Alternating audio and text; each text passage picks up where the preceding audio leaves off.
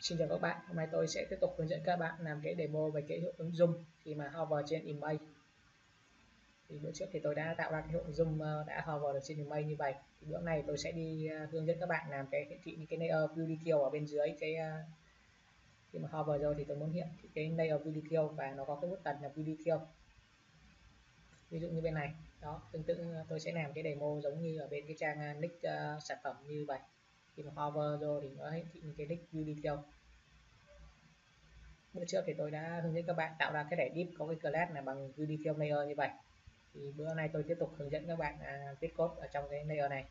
Thì tôi sẽ thêm cho nó một cái thẻ a. A này tôi có cái href là bằng thăng. Rồi tạm thời cái href tôi sẽ này để là thăng. À, mai mốt thì các bạn à, thế cái trang à, detail.html rồi đây. Vì tôi chưa có trang detail nên tôi để là dấu thăng như vậy. Tiếp theo tôi sẽ cho nó cái title là bằng view detail rồi cái content thì tôi cũng cho là view detail rồi tiếp cho save rồi tôi refresh lại trình duyệt. Đó thì bây giờ nó đã có thêm cái uh, dòng chữ view detail thì tôi sẽ đi viết chỉ tay cho cái uh, layer view detail này.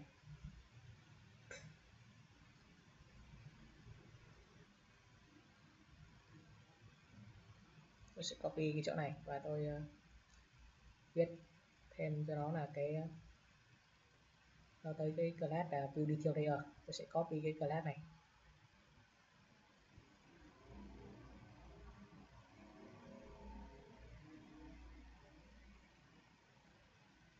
Rồi tôi sẽ đi viết style cho cái cho cái class này.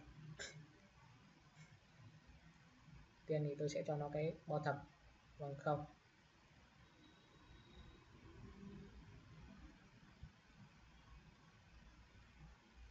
Rồi tôi refresh lại trình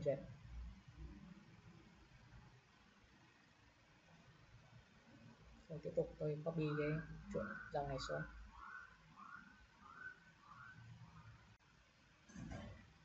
À, tôi sẽ viết style cho nó. Đầu tiên tôi cho nó cái width là bằng 100 phần trăm.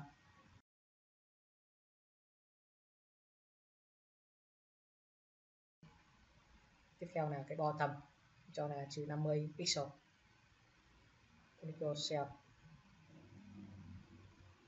Rồi tôi refresh này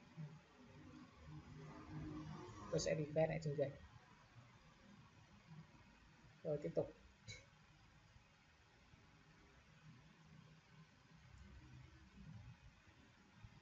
Tôi sẽ cho nó cái là position là absolute. Cho nó cái uh, left là bằng không. Tiếp theo là tôi cho nó cái right là bằng không. Rồi tôi refresh lại trình duyệt. Đó, thì bây giờ nó đã style nó đã ẩn xuống bên dưới như vậy.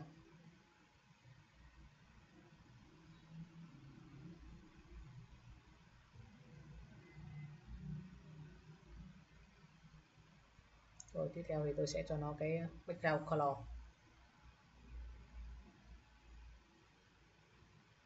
Tôi sẽ cho nó cái mã màu.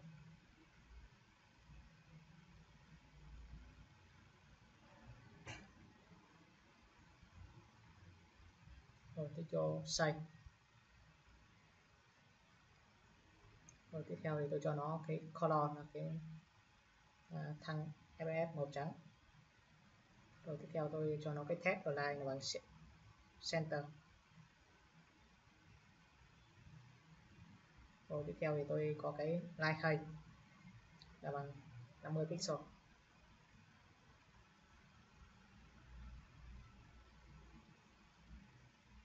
Rồi tiếp theo thì tôi cho nó cái ờ, transition. Nó on. Và trong vòng 0,45 giây. Rồi tôi thêm cho nó cái thuộc tính là is.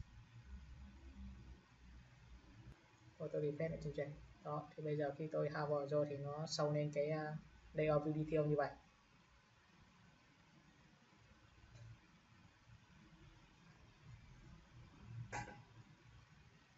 Rồi tiếp theo thì tôi sẽ copy cái chuỗi này.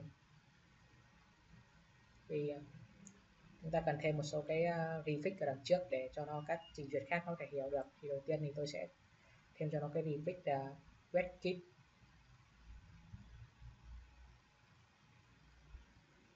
rồi tiếp theo là mod rồi tiếp theo là gạch ngang o. Đó, tôi cần phải thêm cho nó một số cái defect ở dưới trước cái ờ, thuốc property transition để cho các trình duyệt khác nó có thể hiểu được. Rồi tiếp theo thì tôi sẽ viết code để mà viết style trên cái background cho cái ờ, layer video này và tôi sẽ hiển thị lên cái icon search. Tôi sẽ copy cái chỗ này, xuống.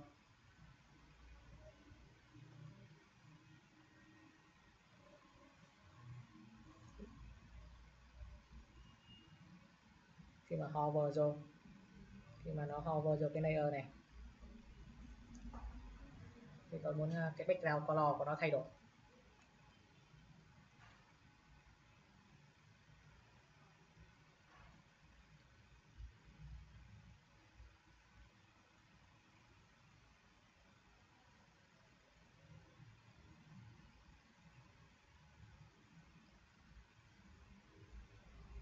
Rồi cái điều xanh, rồi tôi đi phép lại trình chuyển. Đó, bây giờ khi hover rồi thì nó đã chuyển sang à, cái màu à, hồng như vậy.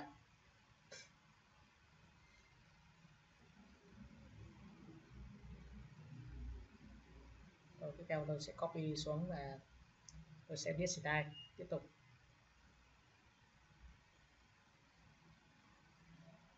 Cho cái thẻ A. Bên trong cái view detail layer thì có thẻ A. Tôi sẽ viết style cho cái thẻ A này thì tôi sẽ cho nó cái background.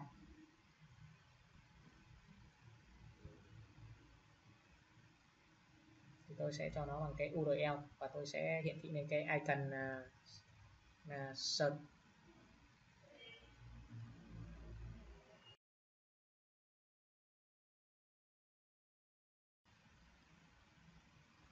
Rồi video save.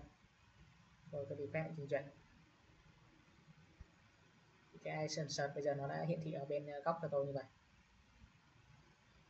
Tiếp tục thì tôi sẽ cho nó cái uh, test decoration là bằng none để cho nó bỏ cái cái ờ, dấu gạch dưới ở bên cái chữ dưới chữ đi. Tôi click sai.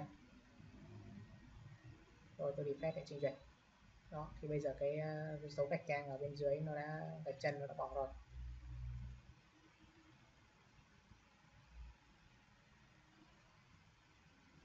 Rồi tiếp theo thì tôi sẽ cho nó cái hay.